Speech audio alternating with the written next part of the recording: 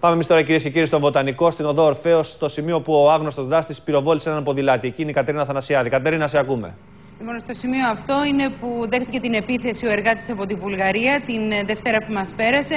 Είχε βγει γύρω στις 6.30 ώρα το απόγευμα για να πάει στη γωνία που είναι λίγο πιο πάνω, για να πάρει κάτι από το ψιλικατζίδικο για να φάει και να γυρίσει πίσω εδώ που εργάζεται. Και δέχτηκε λοιπόν ε, την επίθεση. Τον πλησίασε πολύ κοντά ο άγνωστος αυτός άντρας, ο οποίος κυκλοφορεί σαν φάντασμα μέσα στη νύχτα μόλις πέφτει ε, το σκοτάδι και τον πυροβόλησε. Όλοι εδώ στην περιοχή είναι τρομοκρατημένοι γιατί είναι μια περιοχή χωρίς φως. Δεν υπάρχουν πάρα πολλές λάμπες.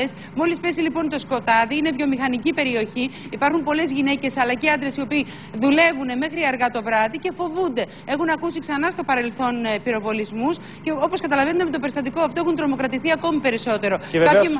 Βεβαίως είναι θέμα τύχης που ο άνθρωπος αυτός τραυματίστηκε στο χέρι. Θα μπορούσε να έχει τραυματιστεί στην κοιλιά και να είχαμε πολύ σοβαρότερη κατάσταση. Έτσι δεν είναι στην ουσία. Πραγματικά έτσι είναι. Και οι περισσότεροι από ό,τι μας είπαν τις τελευταίες αυτές ε, ημέρες, κάποιοι από τους υπαλλήλους ζητούν από τους εργοδότες τους να φεύγουν νωρίς, πριν σκοτεινιάσει. Εάν ε, διαβεί κανείς την οδός Ορφαίο, θα δει ότι δεν υπάρχει φωτισμός. Ε, Όπως καταλαβαίνετε, μόλις σκοτεινιάσει, δεν μπορεί να δει κανείς τι γίνεται. Με δυσκολία περνούν και τα αυτοκίνητα.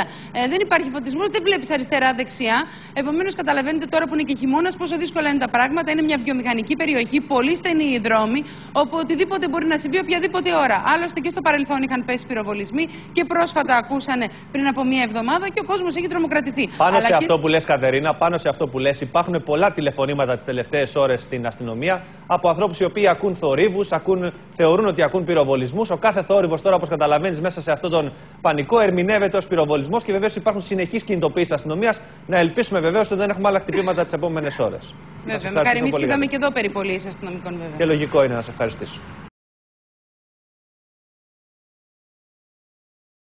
Συναγερμό έχει σημάνει στην αστυνομία η περίεργη υπόθεση του πιστολέρου, ο οποίος πυροβολεί αδιακρίτως περαστικού στην Αθήνα μέσα από το μαύρο τζιπ του. Τέσσερις άνθρωποι έχουν τραυματιστεί το τελευταίο 48ωρο από τα πυρά του αγνώστου. Δύο από τους τραυματίες, μάλιστα, νοσηλεύονται σε σοβαρή κατάσταση. Τρόμο σε πολίτες και αστυνομικούς έχουν προκαλέσει αλλεπάλληλες επιθέσεις του μανιακού επίδοξου δολοφόνου. Κυκλοφορεί με μαύρο τζιπ και πυροβολία διακρίτως κατά πολιτών. Χθες το βράδυ, στη λίστα των θυμάτων του προσθέθηκε μια 47χρονη, την οποία πυροβόλησε στην κοιλιά στη συμβολή των οδών Βορείου Υπήρου και Χιμάρας στον Κολονό. Πρωτόγνωρο, δεν το συζητάμε. Φοβόμαστε να πάμε να πάρουμε μια κάρτα ή να αγοράσουμε ένα μπουκάλι νερό από το περίπτερο. Φοβάσαι βγαίνοντας από το σπίτι σου τι θα σου συμβεί; Να κάνουμε το σταυρό μας και να λέμε Θεό βοηθό.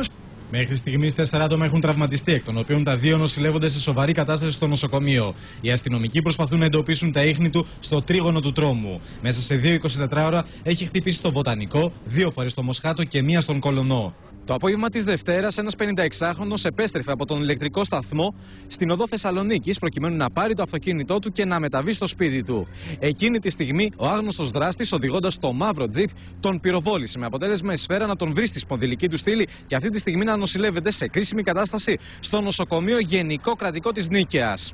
Από το σημείο, οι αστυνομικοί έχουν συλλέξει ένα βίντεο, το οποίο έχει αποτυπώσει τις κινήσεις του άγνωστου άντρα. Ήταν ένα τσερόκι μαύρο, τον χτύπησε, κατευθείαν έπεσε κάτω και το αυτό και ήρθε η αστυνομία. Χθες το βράδυ παρουσιάστηκε στο τμήμα Μοσχάτου ακόμη μια γυναίκα, η οποία, όπως ανέφερε στους αστυνομικούς, γλίτωσε από θαύμα από τη σφαίρα του μανιακού με το τζιπ το βράδυ της Δευτέρας. Και ενώ η ίδια περνούσε έξω από το κατάστημα ρούχων που βρίσκεται ακριβώς πίσω μου, άκουσα έναν πυροβολισμό. Έσκυψε ενστικτοδός και η σφαίρα καρφώθηκε στην τζαμαρία. Σύμφωνα με τους αστυνομικούς, ο μανιακός χρησιμοποιεί πιστόλι με σφαίρες μικρού διαμετρήματος, ενώ το τζιπ με το οποίο κυκλοφορεί έχει καμένο το ένα από τα δύο μπροστινά φανάρια.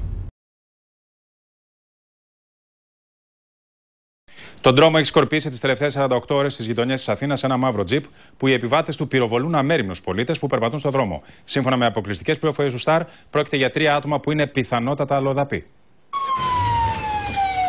Τρόμος στις γειτονιές της Αθήνας. Μόλις πέσει το σκοτάδι, ένα μαύρο τζιπ που κινείται σε ερημικούς δρόμους σκόρπα τον πανικό.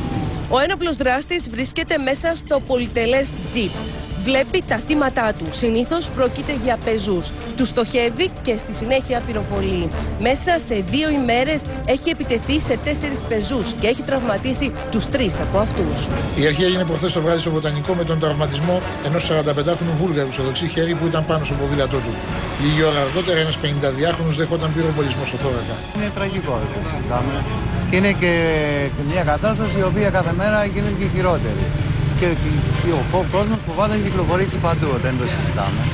Εχθές το απόγευμα, μία γυναίκα εμφανίστηκε στο αστυνομικό τμήμα του Μοσχάτου και είπε στους αστυνομικούς ότι και εκείνη είχε πέσει θύμα του μανιακού με το τζιπ. Η σφαίρα, όπως είπε, εξωστραγίστηκε και σφινώθηκε στην τζαμαρία διπλανού μαγαζιού. Τελευταίο θύμα μια 47χρονη γυναίκα στον Κολονό που πυροβολήθηκε στην κοιλιά και νοσηλεύεται στον Ερυθρό Σταυρό. Ένα καύσιμο ένιωσε η κοπέλα στην κοιλιά της. Δεν ακούστηκε ο κρότος. Η αστυνομία έχει εξαπολύσει ανθρωποκυνηγητό για τον εντοπισμό του μαύρου τζιπ και των μανιακών επιβατών, ενώ αναλύει εικόνες που κατέγραψε κάμερα ασφαλείας καταστήματος σε ένα από τα σημεία των επιθέσεων.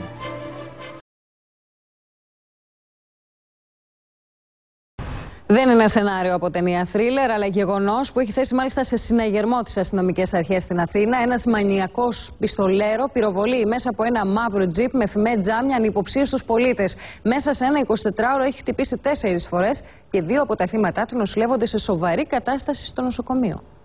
Τον τρόμο έχει σκορπίσει τις τελευταίες ημέρες μανιακός που πυροβολεί ανυποψία στους πολίτες μέσα από ένα μαύρο τζιπ, κυρίως τι νυχτερινές ώρες. Θύμα του αυτή τη φορά μια 47χρονη στον Κολονό, η οποία δέχτηκε τα πειρά του στην κοιλιακή χώρα.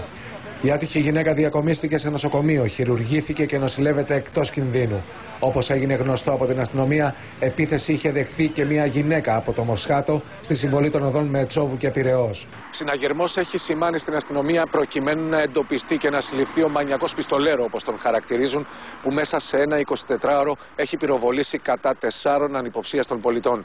Δύο νοσηλεύονται σοβαρά στο νοσοκομείο. Τη Δευτέρα ο δράστης είχε πυροβολήσει και τραυματίσει άλλους δύο ανυποψίαστου πολίτες στον Βοτανικό και το Μοσχάτο. Σύμφωνα με πληροφορίες, πρόκειται για ένα άτομο ηλικίας 30 έως 35 χρόνων, έχει μαύρα μακριά μαλλιά και κινείται με το μαύρο τζιπ παλιό μοντέλο που έχει φημέ τζάμια και οι πινακίδες κυκλοφορίας του είναι δυσδιάκριτες ή παραποιημένες. Επιλέγει πιθανόν τυχαία τα θύματα του, τα προσεγγίζει, ανοίγει μέχρι τη μέση το παράθυρο του συνοδηγού και πυροβολεί μία φορά με πιστόλι 22 χιλιοστών. Σύμφωνα με το σχέδιο που καταστρώθηκε από αξιωματικούς της αστυνομίας, προβλέπεται να χρησιμοποιηθούν ακόμα και ελεύθεροι σκοπευτές, οι οποίοι θα λάβουν θέσεις ακόμα και σε υπερυψωμένα σημεία ή σε ταράτσες που έχουν οπτική επαφή με κεντρικούς δρόμους των περιοχών που έχει χτυπήσει ο αδίστακτο πιστολέρο. Ο κόσμος φοβάται να κυκλοφορήσει παντού, δεν το συζητάμε. Και είναι η περιοχή εδώ γενικά υποβαθμισμένη. Αυτά που ακούμε, μπορούμε να πάμε να παίρνουμε μια κάρτα ή να αγοράσουμε ένα μπουκάλι νερό από το περίπτερο, εδώ πιο κάτω στην εκκλησία στον Άγιο Μελέτη. Να κάνουμε το σταυρό μας και να λέμε Θεός βοηθός και τι να πω άλλο. Εκτός από τα προκαθορισμένα μπλόκα της ασφάλειας, σε ρόλο ανιχνευτή θα βρεθούν και μοτοσυκλετιστές της άμεσης δράσης που θα κινούνται αδιάκοπα μέχρι τα μεσάνυχτα αναζητώντας το πολυτελές τζιπ.